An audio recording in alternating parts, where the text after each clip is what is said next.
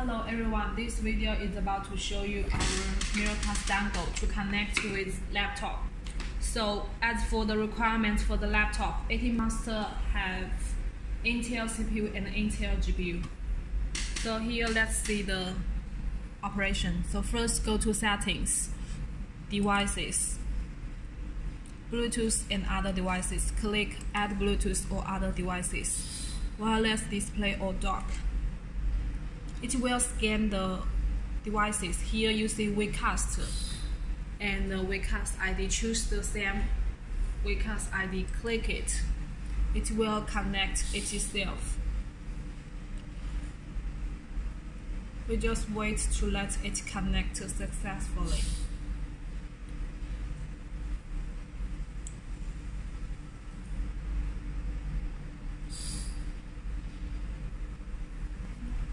Here you see it's already connected. You see the two screens are different. If we want to check the same, to see the same screen, we go to settings to set, choose display, and here if you choose duplicate this, displays, then this screen and, this, and the TV is the same screen.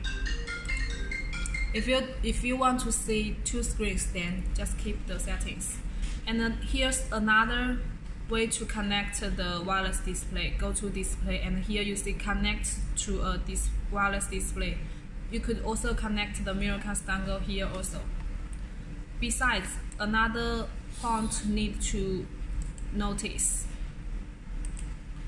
We go back to, oh sorry, but we go back to devices. Here devices. Uh, after you connect it and disconnect, the second time you need to remove this device so you can connect the, sec the second time each time you need to remove and then connect. So please be aware of this point if you disconnect just click here disconnect.